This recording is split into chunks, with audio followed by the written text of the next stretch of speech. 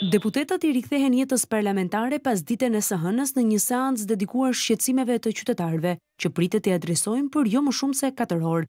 Bashkë me rikthimin e seancave parlamentare do të rikthehet edhe aksioni i opozitës për të mos lejuar zhvillimin normal të seancave pa plotësimin e kërkesave të tyre për ngritjen e komisioneve hetimore dhe ndryshimin e përbërjes së Komisionit të Posaçëm të Reformës Zgjedhore. Nëntëmbëdhjetë deputetë të Partisë Demokratike nuk do të kenë mundësi të jenë pjesë e seancës parlamentare, pasi janë përjashtuar nga Sekretariati i Etikës për shkak të veprimeve që kanë kryer në seancën e shkuar. Aksionin brenda sallës pritet ta udhëheqë kryetari i Grupit Parlamentar Demokrat, Gazment Bardhi, të cilit i ka përfunduar masa ndëshkimore prej dhjetë ditësh jashtë parlamentit. Ndërkohë, jashtë sallës së seancave plenare, tridhjetë minuta përpara fillimit, në orën gjashtëmbëdhjetë e tridhjetë, deputetët e përjashtuar do të protestojnë. Lajmi u komunikua të shtunën, në mbledhjen e Këshillit Kombëtar të Rithemelimit nga deputeti Flamur Noka.